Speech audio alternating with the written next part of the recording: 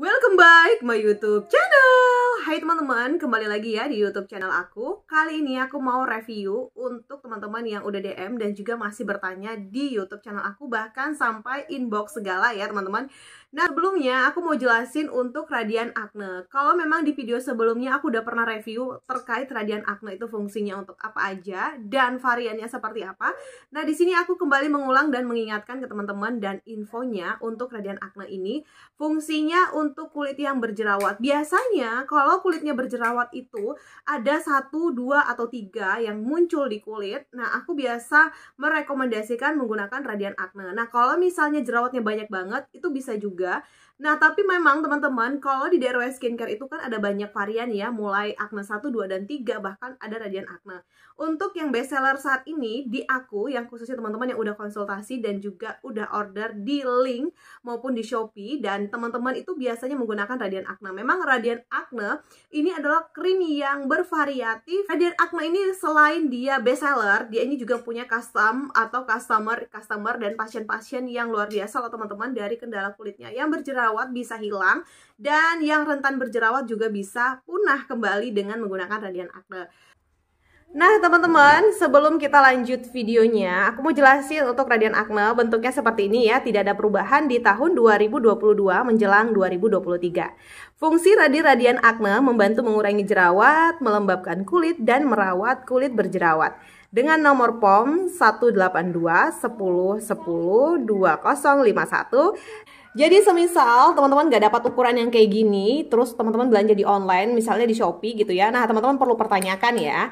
Oke, selanjutnya untuk expirednya di sini masih 2024 ya, teman-teman, bulan 8. Dan untuk yang lain-lainnya, teman-teman bisa lihat di kolom kayak gini yang ada tercatat di keterangan dan juga cara pakainya jangan sampai salah atau keliru ya.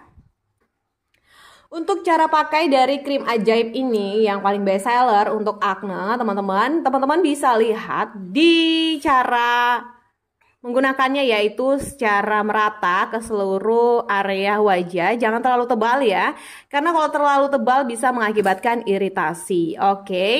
dan selanjutnya untuk malam hari pastikan sebelum menggunakan ini kalian sudah mencuci wajah kalian. Bagaimana kalau udah menggunakan radian akne tapi nggak ada hasil, malah jerawatnya tumbuh banyak dan bahkan iritasi sampai merah-merah karena memang ada juga yang konsultasi seperti itu ya. Nah, aku saranin kalau misalnya merah atau meradang, teman-teman evaluasi kembali apakah sebelum menggunakan radian akne sudah melakukan konsultasi dan juga udah melakukan netral. Biasanya netral itu digunakan kalau misalnya kulit kita dari skincare satu pindah ke skincare baru itu nggak ada jeda ya teman-teman. Jadi memang pastikan kalau misalnya mau menggunakan radian acne sudah steril atau sudah netral terlebih dahulu minimal sih kalau netral itu ada sekitar iya beberapa hari kayak gitu ya teman-teman. Nah next video juga aku akan buat cara untuk netral kulit untuk perpindahan skincare kayak gitu ya. Oke teman-teman, selain itu radian akne juga bisa mengurangi yaitu ya jerawat, melembabkan kulit dan merawat kulit berjerawat. Jadi kalau misalnya kulitnya berjerawat, itu perlu nggak sih dirawat? Jawabannya adalah perlu ya teman-teman karena untuk kulit berjerawat untuk tidak muncul semakin banyak bahkan tidak muncul semakin melebar ke mana-mana ada bahkan sampai jerawatnya batu dan jerawatnya juga sampai susah banget dibersihkan. Nah, itu memang perlu dirawat. Salah satunya menggunakan skincare.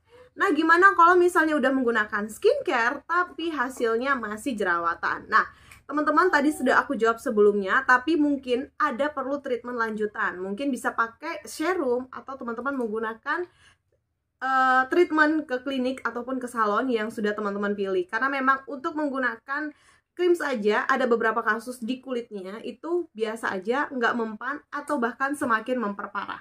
Jadi makanya penting teman-teman untuk melakukan konsultasi DM terlebih dahulu atau teman-teman yang check out di Shopee biasanya itu kan ada inbox kayak gitu ya. Jadi tanya dulu dan sebelum order juga bisa tanya kayak gitu. Kalau misalnya udah tanya terus udah dikasih kayak gini dan cocok itu berarti berhasil ya untuk treatment kalian Oke, sekian dulu ya teman-teman Radian Acne. Semoga bermanfaat. Kalau misalnya teman-teman masih ada pertanyaan seputar skincare dan juga seputar uh, keluhan kulit kalian, kalian bisa tulis di kolom komentar di bawah dan sebisa mungkin aku akan balas. Sampai bertemu di video selanjutnya. Bye bye.